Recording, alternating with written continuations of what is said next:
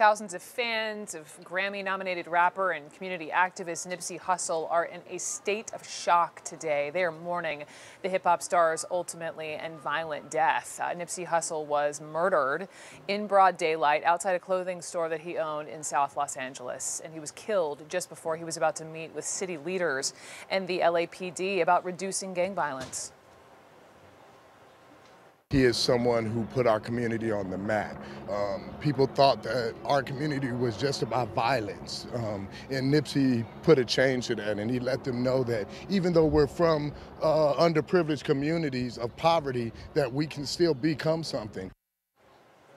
Social media has been flooded with tributes. Here's a tweet from Issa Rae. Watching Nipsey inspired me to invest and own in our communities. He was a solid man who loved his woman, his family, and his community. This hurts. Atlanta-based DJ Headkrack, co-host of the Rickey Smiley Morning Show and Dish Nation, is with me now. And, and Headkrack, thank you for, for taking a minute with me and just talking about this man that was so beloved. I mean, this is a it's a huge loss for the rap and hip hop community. He wasn't, you know, just a rapper. He left this huge social footprint in his hometown of South LA, investing his time and his money back in the community. Tell me what you know of him and what impact he had on you. I mean, at the end of the day, I mean, there's very few situations where someone's music actually transcends music, you know? Uh, Nipsey Hussle's raps and rhymes weren't just words. They were like a call to action for people who listen. And, you know, and you saw it in the tweets and some of the posts that people said. It made people want to do better in their own communities. I mean, you're talking about a brother right here who had the opportunity to leave the area of Crenshaw and Slauson, know, Slauson we grew up at. And no, he kept his businesses right there. He was buying up properties on the block and he was trying to teach and empower people to do the same thing in their mm. respective neighborhoods all around the world. And that is something that, you know, people don't necessarily walk away from business school with, you know, yeah. like investing into yourself and your own community. And he was a big advocate of that. This is a guy who, I mean, I just spent my morning reading all about him. Started a STEM program for inner city kids, owned multiple businesses where he hired people in the community, was involved in rebuilding projects, you know, in the South LA area. And he said he, he, grew up in gang culture, but that he turned his life around and tried to help others do the same. And, and I know your son actually got to meet him in Atlanta at one of his pop-up shops. Can you tell me what that was like for him? Yo, my son was completely over the moon when he went to Nipsey Hussle's pop-up shop because the type of guy that Nipsey was, he wanted to press the flesh. He wanted to meet the fans and give that love back to the people that showed him love. You know, like my man has done things in the culture that you've never seen done before. He had an album that he was selling for $100 a pop, only made like a thousand copies of it, and people bought them. Jay-Z, I think, bought a hundred copies of it.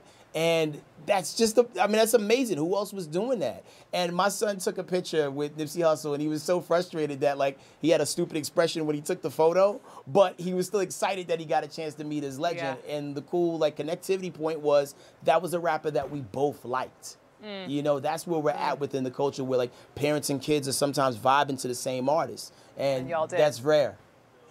He, he was also a family man. He just had this baby boy with uh, actress Lauren London. They were both profiled in the, March issue of GQ. Lauren's well known for, for her role in the classic film ATL.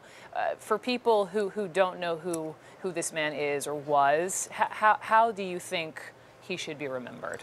I think he should be remembered as a visionary. I mean, a lot of times people throw the uh, you know the term legend or icon around a little too loosely, but Nipsey Hussle truly was that. And you know, he may not necessarily have been as commercially successful as Tupac, but his impact is just as great, if not possibly bigger. I mean, he was getting ready to rock the world with this whole documentary that he's putting together uh, uh, with uh, about Dr. Sebi and the trial that he um, underwent back in 1985 where he proved that he had the ability to cure AIDS and you know the information was kind of suppressed. And a lot of people feel like you know that you know that project he was working on made him a marked man but you know that's a deeper conspiracy that you know we don't got time for right now. But it's great to know that you know guys like Nick Cannon and others are looking forward to pick up Nipsey Hussle's work and continue on with it. And you could just look through social media through the hashtags. Like people are Pharrell, I saw a Pharrell tweet where he was talking yes. about he was just shooting a video with him like the week of or the day before. You know, I just couldn't.